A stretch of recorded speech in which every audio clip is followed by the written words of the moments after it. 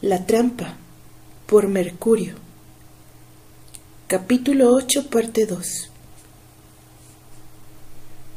Minutos después la pareja se unió con Harry en la parte trasera del teatro y juntos se dirigieron al auto. El corazón de Candy latía con fuerza de tan solo pensar que en unos segundos más estaría viajando con Terry en la parte trasera del auto, prácticamente a solas con él. Se sentía estremecer ante la perspectiva y le exasperaba que él pareciera tan tranquilo y casual, como si no hubiese pasado nada entre ellos momentos antes. Sin embargo, bastó que la portezuela se cerrara atrás de ellos para que ella se diera cuenta de que él estaba lejos de haber olvidado lo sucedido.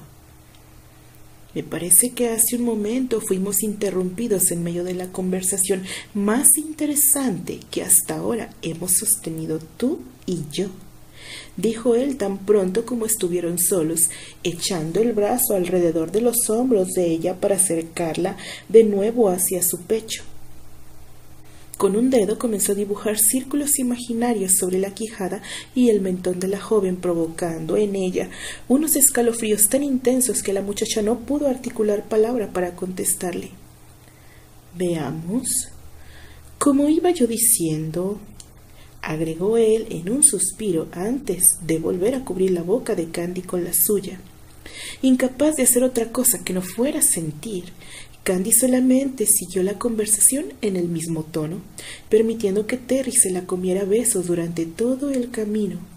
Aquello era una experiencia totalmente sui generis para Candy, sentirse tan besada y acariciada, tan llena de electricidad y tan vulnerable todo al mismo tiempo.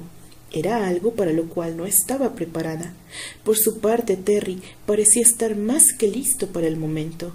A juzgar por su total goce de la situación y su insaciable insistencia de hacer que cada beso fuera seguido de otro. Uno de sus brazos sostenía el cuerpo de Candy por los hombros y con la otra mano acariciaba el cuello de la joven, provocando en ella estremecimientos que llegaban hasta su vientre. Las caricias se fueron intensificando lentamente y Candy se sorprendía a sí misma con el total abandono al que estaba dispuesta. Sin embargo, antes de que Terry se percatara de que en ese dorado momento la mente y el cuerpo de la joven estaban a merced, a merced de su voluntad, ambos tuvieron que interrumpir el intercambio amoroso, pues el ruido del motor dejó de oírse señal inequívoca de que había llegado a su destino.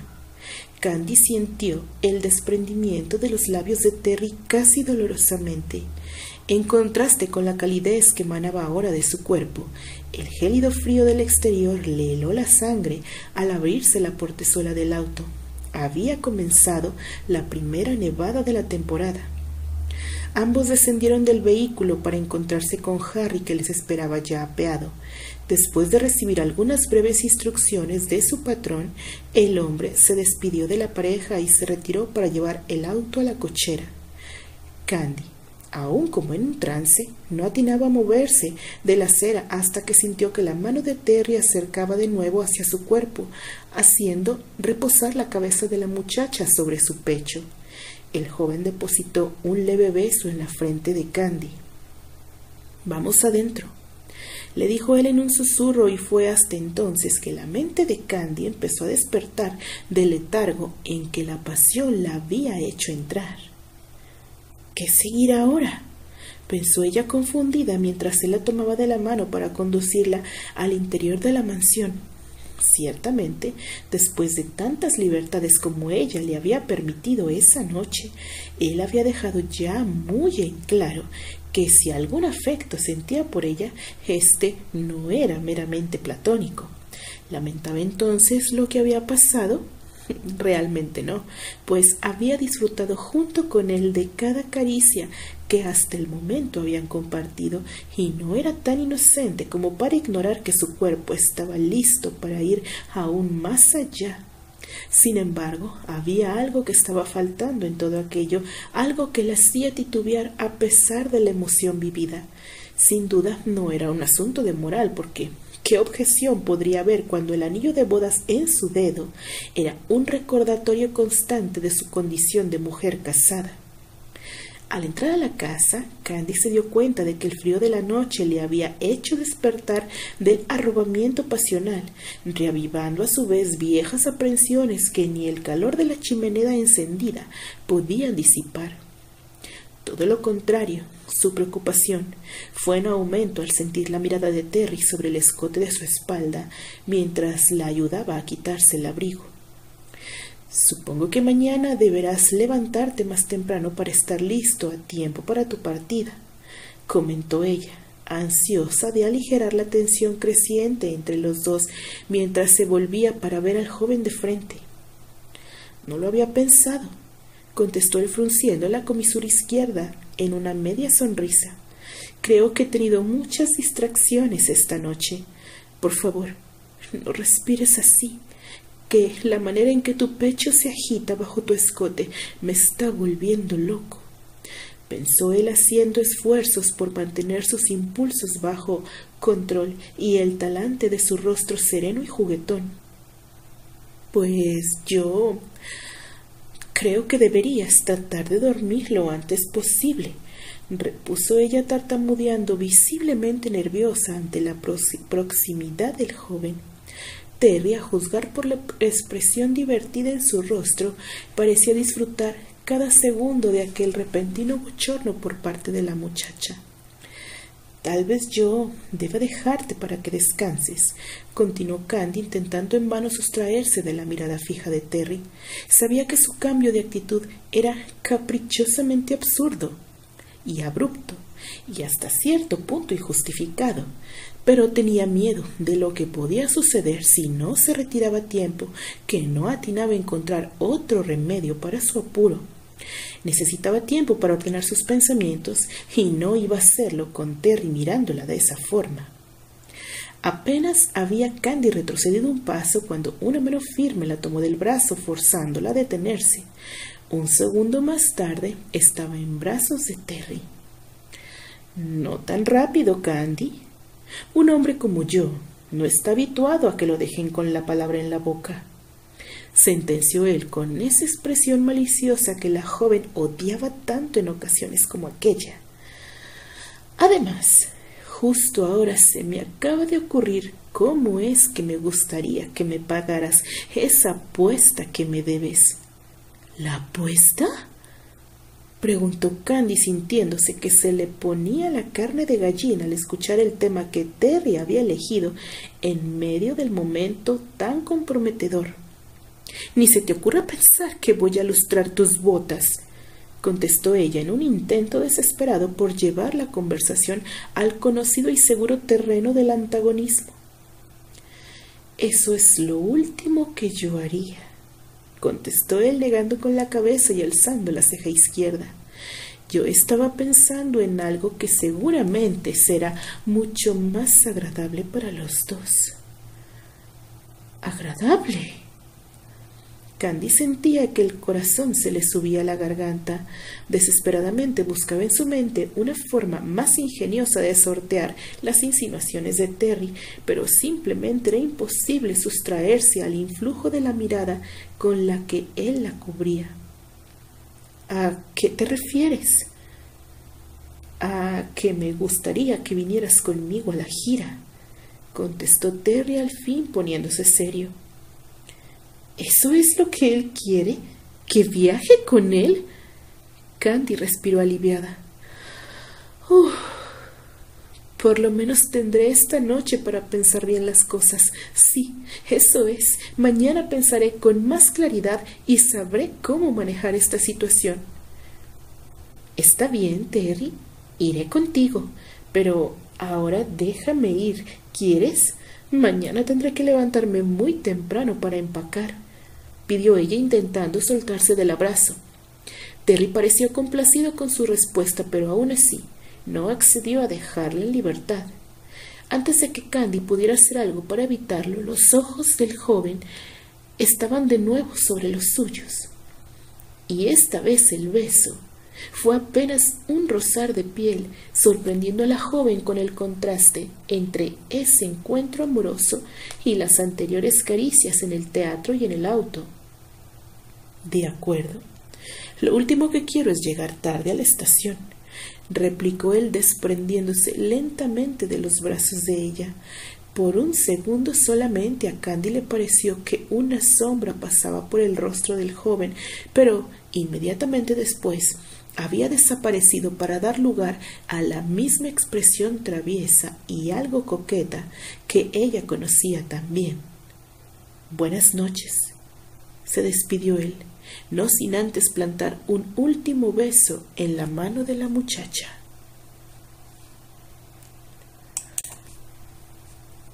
Las cosas habían ocurrido tan de improviso el inesperado engaño de ella con el simple propósito de darle una sorpresa había sido desconcertante. Luego la revelación de aquel regalo sencillo pero a la vez elocuente había terminado por derrumbar los ya desvencijados vestigios de su autocontrol. Simplemente no había podido evitar aquel beso. Afortunadamente para él no había nada de qué arrepentirse. Todo lo contrario, al sentir aquella callada aceptación por parte de ella, solo podía lamentarse el no haberse atrevido antes a tomarla entre sus brazos y decirle con caricias todo lo que su corazón guardaba para ella. Dando vueltas sin sentido en su habitación, incapaz de controlar la euforia del momento, Terry no cabía en sí de alegría y a la vez no alcanzaba a dominar su frustración. Apenas si podía creer su suerte. Aún más, apenas si podía comprender cómo es que había podido controlarse. Hubiese sido tan fácil volver a besarla y después simplemente dejar que la seducción del momento los llevara hasta el punto que él tanto deseaba. Al ir a su camerino a cambiarse, había dudado un tanto al respecto de cómo actuar cuando volviese a estar a solas con ella. Después de considerarlo por unos instantes, se había resuelto a que, tan pronto como subieran al auto, encontraría la manera de explicar todas aquellas cosas que aún quedaban pendientes entre los dos. Sabía bien que a pesar de aquel increíble momento vivido en el escenario, era necesario que entre ellos se aclarasen algunas cosas. Desafortunadamente, sus resoluciones se esfumaron por completo al encontrarse de nuevo envuelto en la deliciosa intimidad que les brindaba el asiento trasero del auto antes de poder hacer algo racional. El corazón y el deseo habían ya dado rienda suelta a sus impulsos. Nunca había sido fácil para él convertir los sentimientos en confesiones amorosas. ¿Era acaso necesario hacerlo ya, cuando los actos parecían haberlo dicho todo? Sin embargo, al entrar a la casa las cosas habían cambiado, por una de esas extrañas razones que solamente las mujeres entienden. La confianza con que Candy se había entregado en sus primeras caricias había desaparecido. Era evidente que algo parecía molestarle. Posiblemente era que simplemente necesitaba tiempo. ¿Tiempo? ¿Qué no habían sido suficientes seis meses? Toda lógica parecía seguir el mismo rumbo de sus deseos. ¿No somos acaso marido y mujer? se decía él sin comprender el sentir de la joven. Si después de todo yo la quiero y ella aún me corresponde, no sé qué más necesita para entregárseme. ¿Qué fue lo que la hizo dudar? Terry necesitó echar mano de todas sus fuerzas para no dejarse llevar por los instintos en esos momentos. Nunca había intentado siquiera el forzar a mujer alguna para gozar de sus favores. No iba a empezar a hacerlo justo con la mujer que amaba. No obstante, el creer firmemente en un principio no implicaba necesariamente que sea fácil aplicarlo. El solo argumento que había mantenido sus, impulsos bajo control había sido su profundo anhelo de ganar el corazón de Candy por completo. Tenerla en su lecho no significaba nada si ella no accedía a compartir con él su alma. Tendría que ser aún más paciente.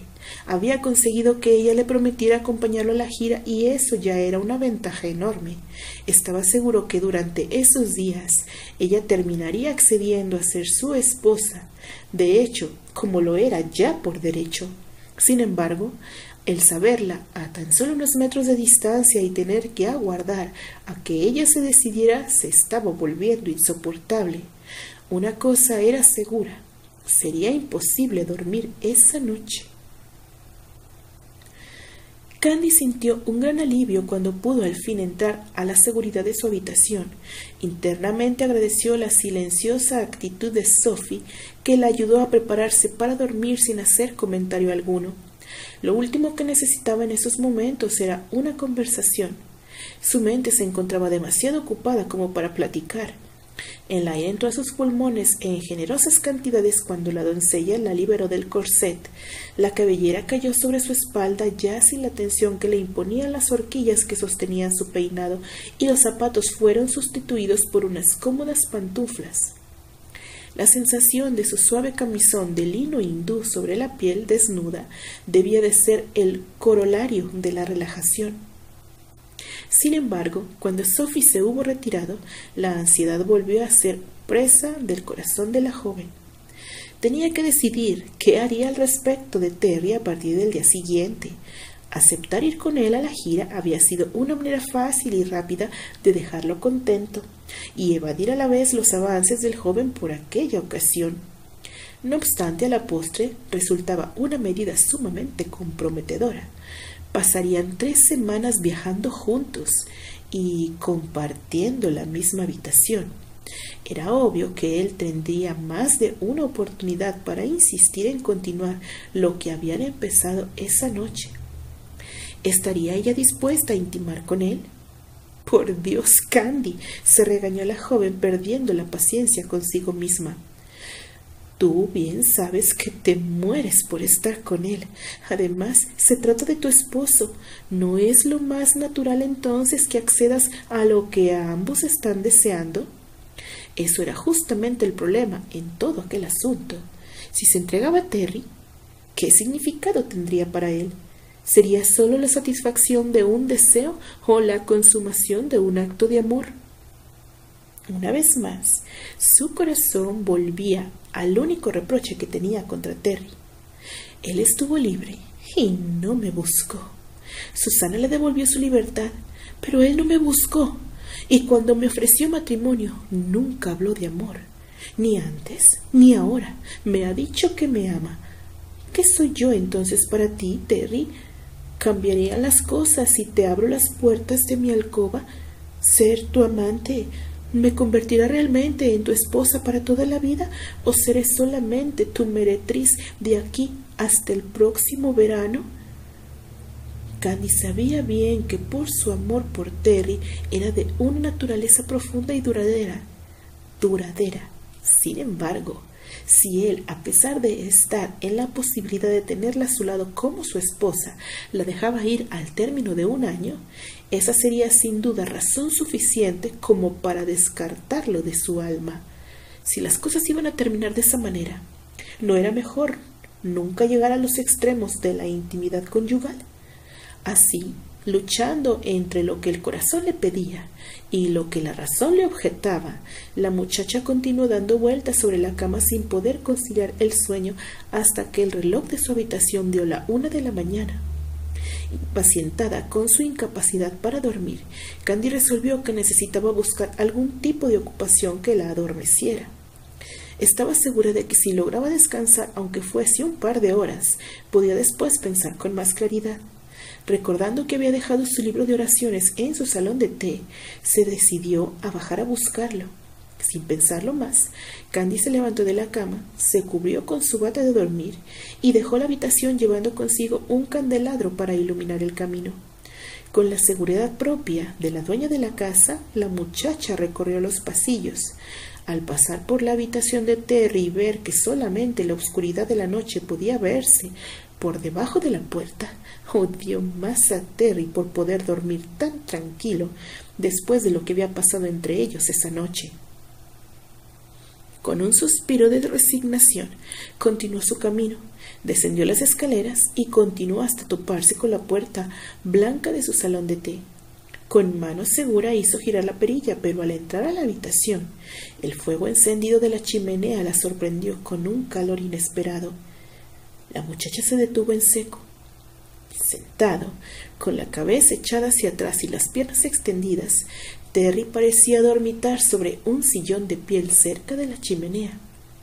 El fuego del hogar consumía los últimos leyes proyectados dramáticos proyectando dramáticos claroscuros sobre el rostro bronceado del joven. La camisa de dormir había quedado abandonada en el suelo, dejando al joven desnudo de la cintura hacia arriba. La visión del pecho amplio, firme y cubierto de vello oscuro del joven cortó la respiración de la muchacha en seco. Candy había visto más de un cuerpo desnudo en las salas de operaciones, pero nunca antes el corazón le había dado un vuelco como ahora. De repente la muchacha se sorprendió a sí misma admirando la figura masculina del joven dormido, aunque hubiese querido desviar la mirada de aquella visión prohibida. Sus ojos se resistían a obedecerla. Sin control, continuó su intencionada inspección desde los cabellos castaños y sedosos que caían libres en los hombros de Terry hasta la firmeza del abdomen y los brazos marcados. Está más apuesto que nunca, así dormido. Si tan solo pudiera tocarlo. Dios mío, Candy, una dama no debería tener esos pensamientos. Se regañó a sí misma, pero aún así continuó acercándose hacia el joven como las polillas se acercan imprudentes a la luz de la fogata. No te acerques más, o no respondo por tu virtud, Candice. Rompió Terry el silencio sin abrir los ojos ni mover un músculo. La joven dio un salto al descubrirse sorprendida. Pensé que dormías, respondió ella balbuceando muerta de miedo y pena al descubrir que él se había dado cuenta de su presencia. Las insinuantes palabras de él se perdieron en el aire, pues ella estaba demasiado asustada como para escucharlas. Aunque no hubieras hecho ruido al abrir la puerta, aún así hubiese olido tu perfume, respondió él levantando la cabeza y posando unos ojos intimidantes sobre la figura de la joven. La bata de satín que Candy llevaba puesta sobre el camisón cubría tanto como cualquiera de las prendas que usaba durante el día. Sin embargo, la muchacha se sintió repentinamente incómoda. Para Terry, después de aquel vistazo en el espejo del vestidor, podría haberse pensado que esa visión de la joven en su ropa de dormir no era ni la mitad de seductora. Sin embargo, el morbo nos juega trucos extraños y de repente el simple hecho de estar con ellas solas en la habitación oscura era igualmente tentador que verla semidesnuda. Los sirvientes dormían en la parte trasera de la casa y en una residencia tan grande como aquella. Eso significaba que realmente estaban solos. Siento haberte molestado entonces, se animó ella a decir apretando nerviosamente el candelabro que tenía en una mano y llevándose la otra al pecho en un movimiento instintivo. Para su mayor desmayo, el hombre se levantó del sillón de un impulso, su alta estatura más patente que nunca. Por Dios, Candy, ¿qué haces fuera de la cama a estas horas? preguntó él acercándose a ella, como si la inesperada interrupción de sus batallas nocturnas hubiesen resultado en una inusitada pérdida del poco control que le quedaba. Yo no podía dormir. Recordé que había dejado aquí un libro y contestó ella sin poder concentrarse en las palabras al ver al hombre cada vez más cerca de ella. No deberías salir de tu cuarto, Pecas interrumpió él con una sonrisa socarrona dibujándose en los labios. Era como si el nerviosismo de ella incitara aún más su ofensiva y lo animara a arriesgarlo todo. Las sombras de la noche encubren secretos que te asustaría tan solo de imaginarlos. Ay, no digas tonterías, Terry. Ya no soy una niña que se asusta con cuentos de fantasmas respondió ella, tratando en vano de parecer segura. Y deja de llamarme Pecas. ¿Cómo quieres que te llame entonces? Por mi nombre, claro está, repuso ella alzando la nariz en un mohín de pretendido enojo. Él estaba ya tan cerca de ella que era imposible no sentir de nuevo aquella horrible debilidad en las piernas. ¿Juegas con fuego? preguntó él en un murmullo al tiempo que tomaba el candelabro de la mano de ella y lo colocaba sobre la chimenea. ¿Por qué lo dices? dijo Candy sin fuerzas suficientes para escapar del brazo derecho de Terry que la rodeó la cintura, atrayéndola contra sí. Porque tu nombre es Candice Granchester, y eso irremediablemente me recuerda que ante todos tú y yo somos marido y mujer. No sabes las ideas prohibidas que el solo pensarlo me provoca. Candy no pudo contestarle porque la boca del hombre cayó sobre la de ella en besos tan violentos como el deseo de ambos. Aquello estaba ocurriendo demasiado rápido como para que ella fuera capaz de saber qué hacer. Sin fuerzas para nada, Candy simplemente se dio ante la boca demandante de Terry que exploró en la suya con una ansiedad que hacía parecer sus besos anteriores como un mero roce de mariposas. ¡Refrénate! gritaban los escasos restos de razón en la mente del joven, pero seis meses de ese juego desquiciante entre la tentación y el honor habían sido demasiados para su naturaleza pasional. El cuerpo de Candy se doblegaba en su abrazo asfixiante sin ofrecer resistencia, y él, sin poder considerar ya la delicadeza del momento, se dejó llevar por los instintos que le pedían entonces besar con fuerza y penetración. Ella por su parte tal vez en otro tiempo se hubiese asustado ante la vehemencia del abrazo, pero ni aquel era el primer beso pasional que él le daba, ni ella había pasado en vano días y días deseándolo. Él parecía temblar en el abrazo y beber de sus labios como si la vida dependiera de ello, y de repente esa certeza la llenaba por dentro de una sensación de placer hasta entonces desconocida. Tenía razón. Susana tenía razón. Él me quiere. Alcanzó ella a pensar en medio de la nube de emociones que le llenaban el cuerpo, pero pronto hasta esa débil línea se perdió en su inconsciente esfuerzo por arquear el cuerpo para permitirle a Terry acercarse aún más. Candy no tenía ya fuerzas para resistirse y él lo percibió al sentirse relajarse en sus brazos. Esa era la única señal que él estaba esperando. Los labios de él pronto no tuvieron suficientes con la boca de ella y empezaron a cubrir de mordiscos suaves la quijada, el lóbulo de la oreja y la sensible piel del cuello.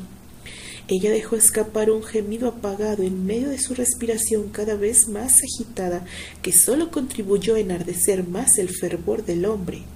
Los recuerdos de aquella tarde en que por accidente habían visto la espalda desnuda de Candy frente al espejo del vestidor y el sabor dulce de la carne de la joven en su boca atizaron aún más la llama en su cuerpo que buscó abrirse paso hasta descubrir el hombro derecho de la muchacha para asaltarlo a besos.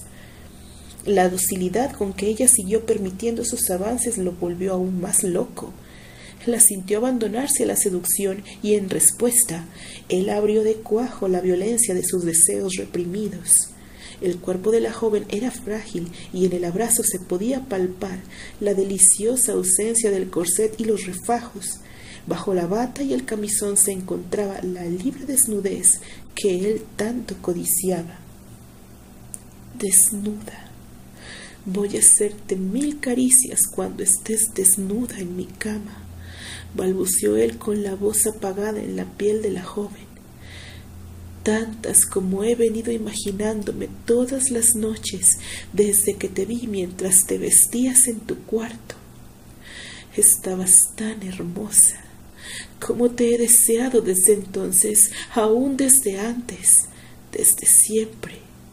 Por años me he estado quemando en leña verde, lenta y angustiosamente, por no poder clavarme en ti y poseerte. No puedo más. Las palabras de Terry cayeron en los oídos de ella como un balde de agua fría. ¿Había él estado espiándola todo ese tiempo? Después de todo era solamente una cuestión de simple deseo, capricho tal vez. Candy no supo entonces qué era más doloroso, si el desencanto o la indignación. La mano del joven buscando su camino desde el borde del escote trasero de su camisón hacia su espalda desnuda la hicieron reaccionar aún con más alarma. No, no. Comenzó ella a balbucear, pero Terry no escuchó su voz en medio de la excitación desbordante y lo agitado de su propia respiración. Candy percibió que las manos se apresuraban a despojarla de la bata. La seda se abrió para que él sintiera que el intoxicante placer de la piel de Candy estaba solamente al otro lado del lino del camisón. Con debilidad, ella intentó separarse del abrazo, pero sus primeros intentos fueron demasiado débiles y él ni siquiera los percibió, mientras sus labios besaban desesperadamente la suave carne que el escote del camisón dejaba a la vista. He dicho que no. gritó finalmente ella tomando fuerzas de su indignación para empujarlo. Violentamente arrojado del calor del cuerpo femenino, Teddy miró a Candy sorprendido. Los ojos de la joven parecían arder con una rabia que él había visto muy pocas veces y no alcanzaba a entender la razón.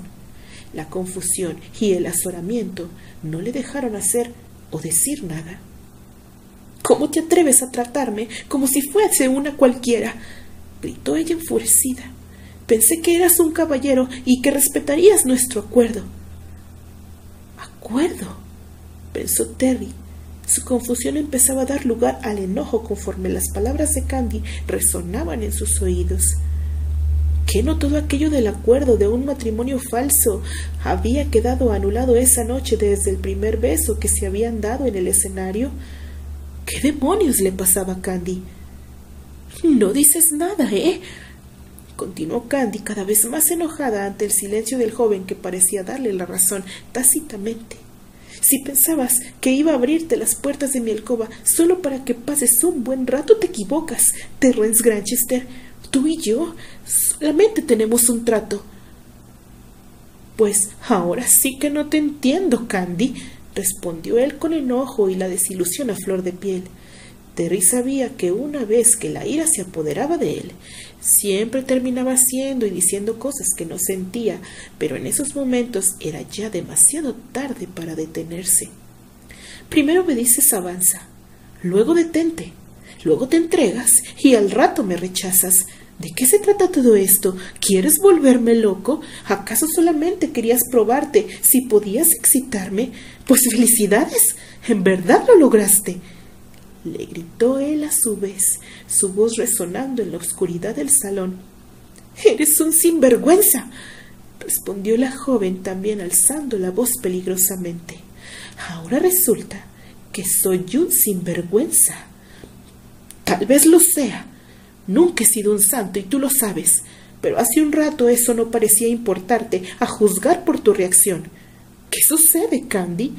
Te complaces en jugar con mis debilidades, pero luego decides que no soy lo suficientemente honorable como para que me entregues tus favores. Pensé que después de todos estos meses las cosas habían cambiado, pero veo que a fin de cuentas solamente soy el pretexto que te salvó de Ney Ligan aceptando esta ridícula patraña de un matrimonio falso. Respondió él arrepintiéndose demasiado tarde de la amargura de su reclamo. No sabes cuánto lamento haber aceptado tu oferta en ese momento, contestó ella con igual resentimiento. Tal vez hubiese sido mejor que me dejara seguir mi destino en lugar de vivir esta mentira cotidiana. Los ojos de Terry se enardecieron aún más con las últimas palabras de la muchacha. En un gesto mezcla de violencia y rabia, el joven volvió a acercarse a Candy tomándola por los hombros sin medir su fuerza. Por un segundo la muchacha temió lo peor. Dime una cosa, Candy, dijo él acercando su rostro hasta que su aliento quemó las mejillas de la joven. ¿Acaso hubieses preferido que ese malnacido te tuviera en su cama? Tal vez si consigo envilecerme como él, aceptes mis caricias de buen agrado, o tal vez deba hacer lo que él sin duda haría si estuviera en estos momentos en mi lugar. Los ojos de Candy brillaron bajo las luces de la chimenea y Terry pudo percibir en ellos el miedo. No, ese era el último sentimiento que él hubiera deseado jamás inspirar en ella. Podía soportar su rechazo, pero no que ella le temiera. Instintivamente el joven soltó los hombros de la muchacha y se alejó de ella. Candy, aún abrumada por las emociones, no alcanzó a coordinar reacción alguna. No te preocupes, añadió él dándole la espalda. Mañana mismo salgo de gira y después de lo que ha pasado me ha quedado bien claro que mis sentimientos no cuentan. Olvida lo que me prometiste. Sé bien que no viajarás mañana conmigo. Diciendo esto último, el joven salió de la habitación sin cerrar la puerta tras de sí. Candy, una vez sola, se desplomó sobre el diván y lloró de desconcierto y vergüenza. No sabía qué pensar, mientras Terry la había sostenido con violenta fuerza, la mirada llena de resentimiento y pasión al mismo tiempo. Por un segundo había deseado que él no se detuviera y al instante siguiente se había horrorizado de sus propios pensamientos. Tuvo miedo de él, de sí misma, y de lo que podría pasar si lo peor de cada uno seguía fluyendo sin control.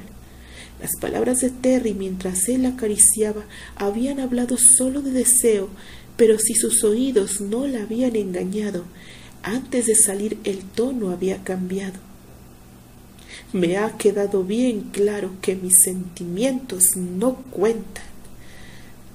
A pesar del calor proveniente del hogar, un inexplicable escalofrío recorrió el cuerpo de Candy cuando su corazón empezó a atormentarla con la idea de que se había equivocado. En el pasillo, los pasos sigilosos de Sophie se perdieron en la oscuridad sin que la joven se diera cuenta de que los sucesos de aquella noche no serían ya más un secreto. Las sedas de la cama estaban aún revueltas, aunque ya era bien avanzada la mañana. Todavía envuelta en su negligé preferido y con los cabellos cobrizos aún sin acicalar, Elisa Ligan volvió a leer con sumo placer la carta que recién había recibido esa mañana. Habían sido meses de frustración los que había tenido que vivir, esperando en vano noticias de Sophie que realmente sirvieran de algo. Por instantes había dudado ante la insistencia de su hermano, que la apremiaba a ayudarle en un plan mucho más violento pero ahora que las cosas comenzaban a salirle bien, se congratulaba internamente por su paciencia y sagacidad. No solo tenía en sus manos el relato de los secretos de los Granchester, había sabido guardar tan bien todo ese tiempo, sino una contundente prueba escrita de puño y letra del mismo Terrence. No podía pedir más. Cuando la tía abuela se enterara de aquello, seguramente el matrimonio quedaría anulado y sus planes iniciales para entregar a Candy en manos de su hermano y apropiarse de la fortuna Andri volverían a entrar en marcha. Por quinta vez, sus ojos repasaron las líneas enérgicas de la escritura de Terry, que se veían en algunas secciones ligeramente borrosas por las lágrimas que alguien había vertido al leer la carta. Elisa se regocijaba adivinando quién había llorado sobre las palabras de Terry. Candice, anoche perdí la noción de los compromisos adquiridos meses atrás y olvidé también mi condición de caballero. Cuando entre nosotros convenimos contraer matrimonio con el único propósito de librarte de Neil Ligan, dejamos bien claro que la unión sería una mera comedia Ignoro en qué momento olvidé que había empeñado mi palabra en todo esto. Al principio pensé que la mejor manera de convivir contigo en este año que hemos de pasar juntos era preservarme distante.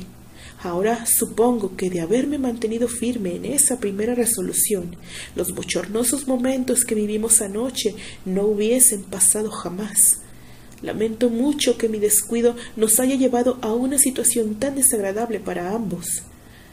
Podría también decir que me arrepiento de mis arrebatos, pero no de los sentimientos que los produjeron. Podría aquí hablar de esos sentimientos, pero nunca he sido elocuente en los asuntos del corazón y no he de serlo ahora cuando me ha quedado bien claro que mis pretensiones no son bien recibidas por ti. Así pues, no temas que estas líneas digan nada al respecto. Quiero aclarar que no fui yo el único responsable de las cosas que pasaron entre nosotros. Si tú no hubieses alentado mis avances, las cosas habrían sido distintas. Sin embargo, debí haber sido más inteligente para leer en tu comportamiento un mero azoramiento ante lo desconocido y no lo que yo aspiraba a encontrar. Te pido disculpas por ello y te prometo que no volverá a ocurrir. No debes temer que mi presencia te importune con recuerdos de los momentos que para ti resultaron tan repugnantes, porque cuando leas esta carta yo habré ya partido de gira. Cuando regrese a Nueva York te aseguro que mi estancia en la casa será casi imperceptible y que no tendrás siquiera la molestia de compartir la mesa conmigo. En seis meses más firmaré la carta de divorcio como lo convenimos y podrás con ello recuperar tu, tu, libertad, sin temor a que tu familia te obligue a casarte con alguien que no deseas. Te doy mi palabra que después de entonces jamás me volveré a cruzar en tu camino. Mientras tanto, en lo que a mí concierne, este tema queda sellado y no tengo ya ni intenciones ni deseos de abordarlo en el futuro. Espero que sepas respetar la distancia que deseo guardar, pues no me siento preparado para ser solo tu amigo. Terence G. Granchester. Semejante prueba debía de ser suficiente para hundir a Candy, pensaba Elisa, que únicamente lamentaba que su hermano se encontrara de viaje en esos días. Tendría que esperar hasta su regreso para contarle las buenas nuevas.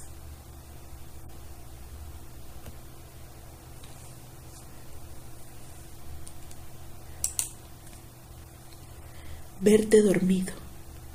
Bendito tu sueño que al mío despierta. Al verte dormido la noche es eterna. Bendito mi sueño de soñarte dormido, así despierta. De un solo momento de noche perfecta, con fuerza de mil huracanes, sus vientos y estelas, el verte dormido me deja perpleja. Perdida en las sombras de mi timidez, se devela tu insomne belleza Tan solo un suspiro que ahogo de prisa es competencia de un palpitar que solo tu visión atiza. Tan fuerte y tan hondo de solo mirarte me lleva y transporta el misterio de tu arte. De ser mi gran sueño, el más anhelado, tu estampa dormida tener a mi lado. Por siempre y ya nunca querré despertar y al mar de tus ojos infinitamente mirar beber de tus aguas, nadar en tus ríos, se viertan en mi cuerpo como escalofríos, que me ahogue tu peso, tu dulce soñar, que así despierta te quiero admirar, que nada te toque, que nada perturbe tus ojos cerrados y tu respirar, tan suave y tan quedo que de un solo aliento quisiera inhalar y tenerte dentro de mi pecho hasta que mis pulmones no puedan más. Qué hermoso es mirarte, desearte en silencio. Es mi amor quien te espía en este eterno sentimiento. Al verte dormido se eleva mi sueño al cielo más alto, más puro y más denso, en donde las nubes de mis pensamientos coronan tus sienes con los más tiernos besos. Descansa, mi amado, y sueño tranquilo, que nada importune tu dulce quietud. Nunca antes sintió mi alma tan loco arrebato, ni al escuchar tu voz, ni al sentir tus movimientos, ni al ver la luz de tus ojos dispararse sobre mí. Nada se compara a este sublime momento de verte dormido y bendecir tu sueño, que al mío despierta, pues eres tú, mi sueño mi sueño eterno así despierta. Poema inspirado por este capítulo de La Trampa, escrito por Rose para Alice Ábalos. Continuará.